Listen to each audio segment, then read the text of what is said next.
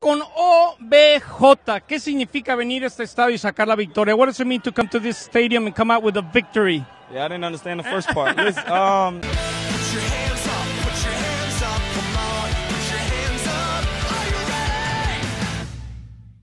Yes, ladies and gentlemen, we have another episode of Time to Football after I was one of the few that was not placed on IR following week two.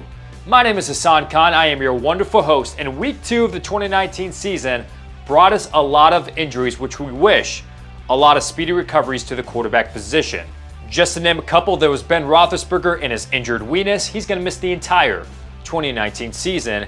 And Drew Brees in his right hand, and much like Brees, I also hurt my right hand this past weekend, but that was from carpal tunnel after long hours in the chat room with the mothers of 12 year old kids to talk trash on the internet.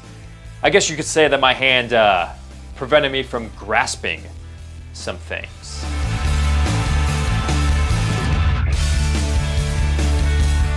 But let's continue recapping last week with the most prestigious honor on this show. The hungriest player of the week, the one that wanted it the most.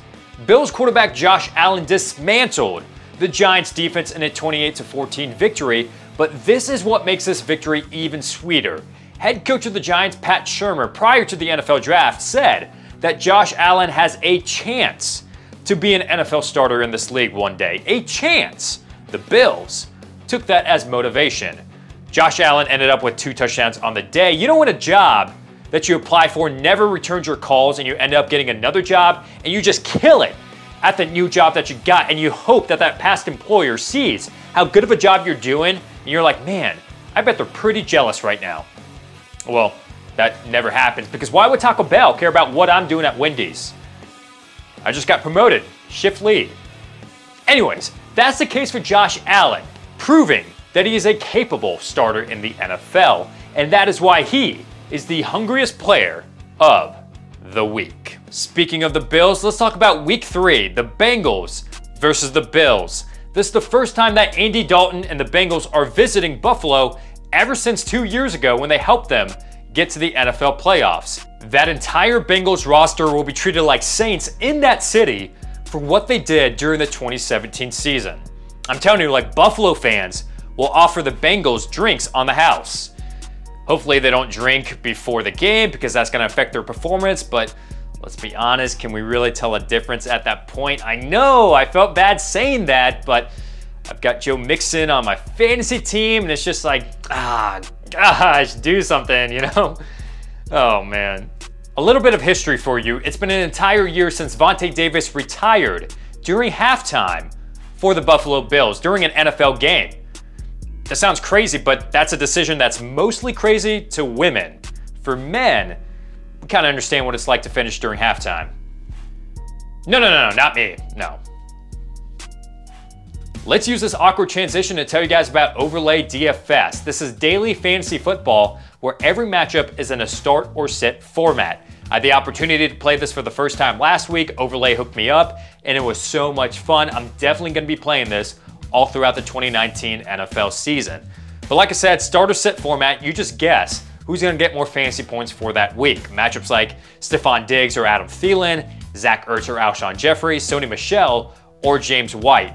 If you're perfect in your predictions for the week, you have the opportunity to win a jackpot prize of $25,000. And if you're not perfect, all you got to do is win within the 10% of your lobby, and you can win nine times your money that you put in. And you have the opportunity to win a bonus jackpot of over $25,000.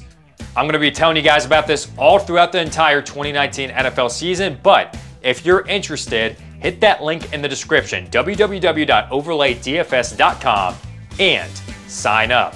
An AFC East matchup between the Jets and the Patriots, and the Jets are desperately needing a quarterback. They're down to the third string in Luke Falk, and this isn't anything against Falk. He might be really good, but if you want to make a serious run in 2019, you may want to bring in a veteran quarterback either as a backup or could be a fill in until Sam Darnold gets healthy from mono. I mean, you could bring in a backup, but the market out there for veteran quarterbacks, it's pretty thin. I don't know who you'd sign. Oh, no, no, no, no. You wouldn't want to sign him. I mean, he just wakes up at 5 a.m. every morning, works out three hours a day for five days a week, in the best shape of his life. Let's not forget that he led San Francisco to a Super Bowl as well, but he doesn't have a job because he sucks. I mean, in his last year in San Francisco in 2016, 16 touchdowns to only four interceptions. That's terrible. I will never talk about politics on the show because I'm not a 2019 cancel culture celebrity giving a speech at the Oscars, but Colin Kaepernick, the last time we saw him at least, was mediocre. And shouldn't mediocrity at least give you a workout with an NFL team? Why not give him a shot? As for the Patriots, last week was the debut of Antonio Brown, and they treated last week against the Dolphins like it was a preseason game. They targeted Brown early and often just to get him caught up to speed for the rest of the NFL season. That's kind of sad when one of the best teams in the NFL isn't treating your game seriously, and sad has been the definition for the whole entire Miami Dolphins team. And sadly, Brian Flores wants to win games, but he's just caught up in this whole management's theory of tanking for Tua. I mean, we don't know for sure if that's their motive or not, but the players and the coaches want to win, but the ownership just keeps on getting rid of all of their best players, with the latest being Minkah Fitzpatrick to the Pittsburgh Steelers. Things don't get easier this week as they face a very good Cowboys team, and it's looking more and more likely that they're going to be the first team on the clock in Las Vegas for the NFL Draft.